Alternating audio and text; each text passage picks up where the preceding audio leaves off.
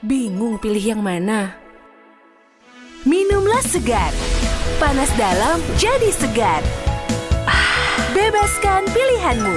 Les Segar, panas dalam jadi segar.